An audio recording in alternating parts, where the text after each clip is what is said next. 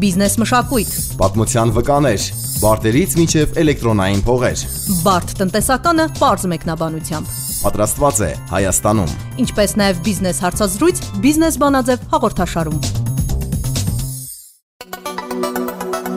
Ողջույն սիրելի ունկնդիրներ, հանրային ռադիոյի եթերում բիզնես բանաձևն է, որը ձեզ է ներկայացնում Աստղիկ Փիլիպոսյանը։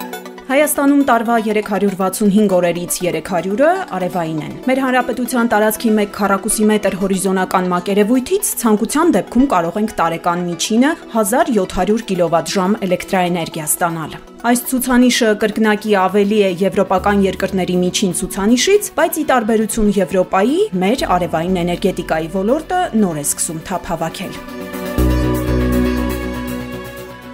Հայաստանում օրեր առաջ այս առումով հեղափոխական ծրագիր կյանքի կոչվեց։ Բացվեց մեր հանրապետության խոշորագույն արևային էլեկտրակայանը։ Այսօրին հյուրը կայանի կառուցումն իրականացրած Շտիգեն ընկերության հիմնադիր տնօրեն, վերականգնվող էներգետիկայի փորձագետ Հայկ Շեկյանն է։ Բարև ձեզ։ Բարև ձեզ։ Նախ կխնդրեմ պատմել կայանի եւ դրա արդյունավետության մասին, եթե կարելի է համեմատականներ տանենք, որpիսի մեծության չափով։ Իհարկե, սիրով։ Կայանը առանձնանում է իր չափերով, այս պահին դուք իրավացի եք Հայաստանում ամենախոշորն է։ Եթե մենք համատենք միջազգային փորձի հետ, դա այդքան էլ խոշոր նախագիծ չէ։ Հաջորդ տարի մենք իրականացնելու ենք այդ կայանից մոտավորապես 2.5 անգամ ավելի խոշոր նախագծեր եւ ոչ թե մի 1 հատ, այլ մի քանի հատ։ Այդ առումով ը, վերականգնող արևային էներգետիկայի զարգացման տեմպերը շեշտակի կարագանան 2020 թվականին ոչ միայն մեր ընկերության աշխատանքի շնորհիվ, այլ նաեւ մեր գործընկերների։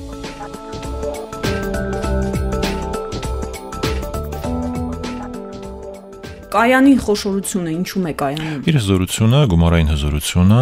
արևային վահանակների գումարային հզորությունը 2.2 մեգավատ է կազմում, որը այս պահին ամենահզորն է Հայաստանում։ Պատկերացում կազմելու համար կայանի արտադրությունը, եթե տարվա կտրվածքով նայենք, ապա դա կարող է էլեկտրոէներգիա սնուցել մոտավորապես 1200-1300 ընտանիքի։ Իհարկե սեզոնային կտրվածքով ամառը ավել է ձմեռը պակաս է, այդ առումով արևային կայանները տարբերվում են, բայց մոտավորապես այդքան հոսանք ինքը արտադրելու է։ Որպեսզի պատկերացնենք մակերեսները, դա 4 հեկտարի վրա գտնվող ընդհանուր 4 հեկտար զբաղացնող արևային կայան է։ Այնտեղ օգտագործվել են այս պահի դրությամբ լավագույն տեխնոլոգիաները, օգտագործվել են երկերեսանի արևային վահանակներ, եթե չեմ սխալվում 6000-ից ավել։ Ի տարբերություն այլ տեղերում ցանցում գտնվող հին տրանսֆորմատորային կայանների մենք լիովին նոր, այսպես կոմպակտ ենթակայան ենք տեղադրել, որը վստահ ենք, որ երկարատև կաշխատի եւ առանց որևէ խնդիրների։ Ներդրման տեսանկյունից դա մոտավորապես 2 միլիոն գերազանցող դոլար ներդրում է, ակնկալում ենք ստանալ 7 տարվա հետ գնում։ Դա բավականին գրավիչ ներդրում է իմ եւ իմ գործընկերոջ համար։ Իրականում ես ինքս չէի սպասում նման արձագանք։ Չինաստանից այստեղ էին եկել մեր մատակարարները, աշխարհարչակ ընկերության ներկայացուցիչներ եւ բացումից հետո անցել մոտ երկու շաբաթ, այդ երկու շաբաթը ես օրեկան ստանում եմ նոր առաջարկներ համագործակցության, ներդրումների, թեև մեր բիզնես միջավայրը ինչ որ իմաստով կոնսերվատիվ եւ միգուցե ոչ ամեն օր ինչ որ իրադարձություններ են տեղի ունենում, այնուամենայնիվ հետաքրքիր երևույթները կամ իրադարձությունները շատ արագ եւ հեշտ նկատվում են եւ արագ արձագանք ենք ստանում։ Ես օրինակ ստացել եմ արձագանքներ եւ առաջարկներ աշխարհի տարբեր մասերից, Ռուսաստանից, Ամերիկայից, ներդրումային առաջարկներ եւ Խոսքը նոր կայաններ հիմնելու։ Այո, նոր կայաններ հիմնելու մասին է։ Պետք է խոստովանել, մարդկանց հետաքրքրում է այդ փորձը եւ այս կայանի բացումը հետաքրքիր ազդակ էր նմանատիպ մարդկանց համար, որոնք սկսեցին կապնվել մեր հետ եւ առաջարկներ անել։ Դա շատ հետաքրքիր եւ ոգևորիչ է։ Չինացի գործընկեր մատակարարները ինչ նկատառումներ արեցին։ Առաջինը նրանք շատ ոգևորված էին, որովհետև այս տարածաշրջանում դա նմանատիպ կայան գոյություն չունի։ Մատակարար ընկերությունը ավելի ակտիվ աշխատում է Ամերիկայում եւ ասիական երկրներում, հարավ-արևելյան Ասիայում, արևելյան Եվրոպայում կամ Միջին Ասիայում նոր ենք մենք իրենց հետ միասին զարգացնում շուկան եւ իրենց համար սա ինչ որ իմաստով սենց նշանակալից իրադարձություն էր, արդեն իրենք են մեզ ասում դե եկեք գնանք հարևան շուկաներում էլ նմանատիպ պրոյեկտներ իրականացնենք։ Ես ուրախ եմ, որովհետև երբ ես սկսում էի բիզնեսը արևային էներգետիկայի ոլորտում, ես մի օր ուզում էի տեսնել, որ Հայաստանում մենք կարող ենք նաև այն նման համագործակցության միջոցով ցույց տալ միջազգային ը, մատակարարներին, միջազգային մեր գործընկերներին, որ մենք կարող ենք տարածաշրջանում շատ ավելի մեծ դերակատարում ունենալ։ Կարող ենք լուծումներ առաջարկել հարևան երկրներում, մենք կարող ենք մատակարարման որոշակի շղթաներ արդյունավետ մշակել։ Կայանի անվանումն է Արսան, Արմենիա։ Հայկական արև։ Կայանը նոյեմբերի 13-ին միացրեցիք Հայաստանի էլեկտրական ցանցերին։ Միացնելով Հայաստանում ինչ չափի ավանդական էներգետիկ ենթակառուցվածք գործարկելուց ազատվեցինք։ Մեկ Չափը փոքր չափի- մեկ փոքր հեկ են ասում, ասենք հեկերն էլ ըստ էության ինչ որ իմաստով ավանդական են այսօր, թեև նաև հասկանալի է որ վերականգնող էներգետիկային է դասվում, բայց խիստ մասնագիտական առումով մենք պետք է հասկանանք, որ արևային էլեկտրակայանները այսպես կոչված բազային կայան չեն համարվում, այսինքն իրենց դու չես կարող միացնել եւ անջատել եւ իրենց հրամայել արտադրել էլեկտրոէներգիա այն ժամանակ, երբ ձեզ պետք է։ Դա այսօրվա տեխնոլոգիայով աշխատող արևային էլեկտրակայանների ամենամեծ թերությունն է։ Իրենք արտադրում են էլեկտրոէներգիա, երբ ուզում են, երբ արև կա։ Սակայն եւ կառավարությունը եւ իհարկե նաեւ բիզնեսը եւ ժողովուրդը այսօր արդեն տրամադրված է մաքսիմալ օգտագործել։ Եթե մենք 2-3 տարի առաջ փորձում ենք մարդկանց համոզել, որ սա լավ բան է, եկեք օգտվեք, այսօր արդեն մարդիկ հասկացել են, այդ համը տեսել են էներգետիկ անկախության եւ առավելագույնս ուզում են օգտվել։ Եթե այսպես փոխաբերական ասեմ, մարդկանց հետաքրքրում է իրենց անձնական էներգետիկ անկախությունը։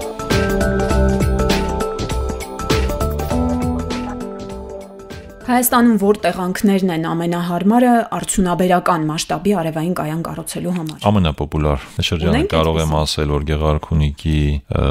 շորժա համայնքն է, Ինչի այնպես է ստացվել, որ մեծ կոնցենտրացիա կա։ Գիտեք, այդտեղ սուբյեկտիվ եւ օբյեկտիվ գործոններ կան։ Ես անպայման ուզում եմ դա նշել, որովհետեւ արևը արև, արևի ռեսուրսը, արևի ռեսուրս դա շատ լավ է, սակայն այնտեղի համայնքի ղեկավարը ժամանակին գիտակցելով այդ հնարավորությունը իր համայնքի համար, ինքը շատ ակտիվ գտնվեց եւ ներգրավեց այդ ներդրողներին, վաճառեց այդ հողերը, համայնքի բալանսի հաշվեկշռին գտնվող հողերը եւ այսօր արդեն այդ համայնքում աշխուժություն է տիրում։ Այնտեղ կան մի քանի արևային կայաններ, պետք է հասկանալ, դա աշխատատեղեր են, դա եկամուտներ են, հարկեր են, որ վճարվում են այդ համայնքում։ Սակայն այնտեղ ռեսուրսը արտագեցավ, որովհետեւ էլեկտրական ցանցերի թողունակությունը այնտեղ արդեն չի թույլ տալիս լրացուցիչ կայաններ կառուցել։ Իսկ եթե ես զուտ խոսեմ արևային ռեսուրսի մասին, ապա այդ տեղերը հայտնի են, դա ինչպես նշեցի Գեղարքունիքի մարզն է, դա Արագածոտնի մարզի Թալին, Թալինի շրջակայքն է, դա Կոտայքի մարզի Հրազդան համայնքի շրջակայքն է, Դդմաշեն, Գագարին այդ տարածքներն են, Վայոց ձորում բավականին ուժեղ է արևային ռեսուրսը։ Չինաստանն այնքան առաջանցիկ տեմպերով է անցնում արևային էներգետիկային, որ գեղագիտական տարել է ավելացնում այդ գործին համացանցում նկատած կլինեք իրենց պանդայի տեսքով այդ արևային վահանակներից դաշտերը։ Հայաստանում այս առումով ուր պետք է հասնենք մեր տարածքի որ հատվածները եւ որքան մասը կարող ենք տրամադրել արևային էներգետիկային, որpիսի չվնասենք նաեւ մյուս ոլորտները գյուղատնտեսությանը։ Գիտեք, ամենակարևոր երևի թե բացասական երևույթը, որ ես նկատում եմ, որ եւ կուզենայի դա ինչ որ ձև բացառվեր, երկու հանգամանք կա այստեղ Առաջինը գյուղատնտեսական հողերի ոչ նպատակային օգտագործումն է։ Ցավոք սրտի մեր երկրում այդ ագրարային բարեփոխումները եւ ագրարային քաղաքականությունը այն արդյունքին է բերել, որ գյուղատնտեսական հողերի մեծ մասը, էական մասը չի օգտագործվում եւ դրանց սեփականատերը չվճարելով որոշակի հարկեր, գույքային եւ այլն դրա արժեքը չգիտակցելով կարող է օգտագործել ոչ նպատակային։ Ես կուզենայի դրա դեմը ինչ որ մի ձև առնվեր, թեև ես ինքս արևային ոլորտի ներկայացուցիչ եմ, այնուամենայնիվ մենք բոլորս պետք է պատասխանատու վարվենք մեր ազգային ռեսուրսի նկատմամբ։ Դա առաջինը։ Երկրորդը, որ նույնպես ես կարծում եմ, որ բացասական ազդեցություն ունի մեր կյանքի կենցաղի կազմակերպման վրա, դա արդեն տնային տնտեսություններում կտուրին տեղադրվող արևային համակարգերը ինչպես ստացվի դնելն է, միայն թե միայն թե առավելագույն արտադրանք ստանաս, այդտեղ խախտվում են թե շինարարական նորմերը, այսինքն լրացուցիչ ռիսկեր են առաջանում, պատկերացեք ուժեղ քամիների կամ ասենք բուքի դեպքում այդ վահանակները կարող են ընկնել եւ վնասել Վնաս- թե գույքը թե մարդու կյանքը։ Ինչպես նաեւ գեղալգիտական ա, ձեր ասած այդ պանդայի օրինակը խախտվում է ընդհանրապես համայնքի ընդհանրապես կերպարը։ Պատկերացեք կտուրի վրա, որը նայում է դեպի, չգիտեմ, հյուսիս հարավ, այսինքն երկու նիստը դրված է վահանակ, որը կամ արևելք արևմուտք նայող նիստերին դրված է վահանակ, որը նայում է դեպի հարավ, այսինքն անհասկանալի մի հատ տեսք է ստանում այդ կտուրը եւ չասնում ամբողջ տեսարանը։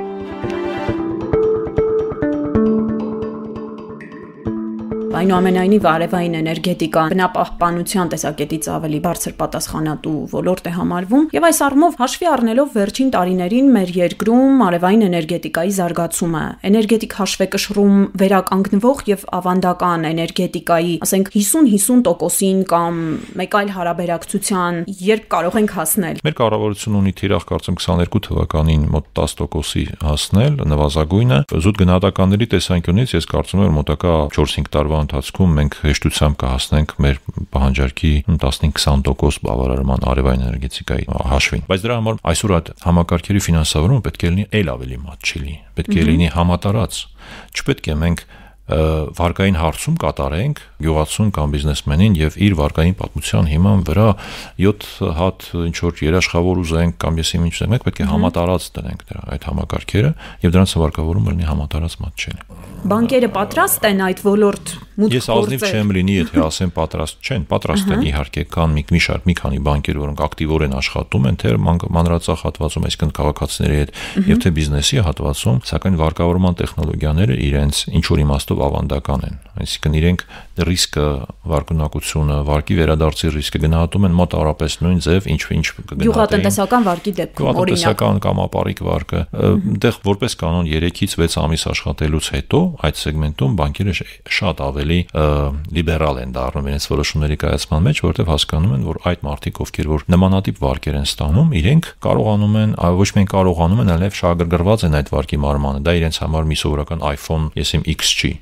որը կարող են վաճառել եւ մոռանալ հատապարակի մասին, հետո դատարաններում ինչ որ եսի ինչ որ արգումենտներով չվարել այդ։ Այստեղ իրենք ստացել են իրենց կենցաղի բարելավման միջոց, ստացել են էներգետիկ անկախության միջոց եւ շատ գրգռված են այդ վարկը մարել։ Իր անձնական ֆինանսների, ընտանեկան ֆինանսների մեջ այդ համակարգը առողջացնող տարր է նրանց համար, ովքեր որ որոշում կայացրեցին խորանալ այս ոլորտում, հասկանալ ինչ կարող են ձեռք բերել, հաշվի առնելով մեծ մրցակցությունը, ինչ խորհուրդ կտակ, ինչից սկսել, այցելել վաճառակետեր, համեմատել վահանակները, համեմատել առաջարկները, թե ինչ որ ուրիշ կողմից սկսել, ինչպես վարվել։ Կարճ եթե փորձեմ հակիրճ ասել, ապա երևի թե պետք է նախ եւ առաջ տեսնել թե իրենց համայնքում ինչ ով կա ում են ճանաչում որովհետեւ ամենաանկեղծ եւ ամիջական խոսքերը իրենք կլսեն իրենց մոտիկներից, մտերիմներից։ Իհարկե միշտ կարելի է զանգել 1-2 արևային ընկերություն, որոշակի հարցեր տալ, այդ հարցերը համատելով կողմնորոշվել ինչ եք ուզում եւ որ առաջարկն է ձեզ ավելի գրավիչ եւ ավելի հանգիստ մոտիկ ձեզ որովհետև միշտ չէ որ խոսքը գնում է գնի մասին կամ որակի մասին, ի վերջո պետք է նաև սուբյեկտիվ մարդկային գործոնները հաշվի առնել։ Շատ հեշտ է իրականում զանգել մի քանի ընկերություն ստանալ առաջարկներ եւ կողմնորոշվել ամենակարճ երևի թե ճանապարհը դա է։ Շատ լավ, շնորհակալ եմ հետաքրքիր զրույցի համար։ Հիշեցնեմ, որ իմ հյուրը Շտիգեն ընկերության հիմնադիր տնորեն, վերականգնվող էներգետիկայի մասնագետ Հայկ Շեկյանն էր։ Շտիգենը օրեր առաջ Հայաստանում խոշորագույն արևային կայանի բացումը կատարեց, միացավ Հայաստանի էլեկտրական ցանցերին։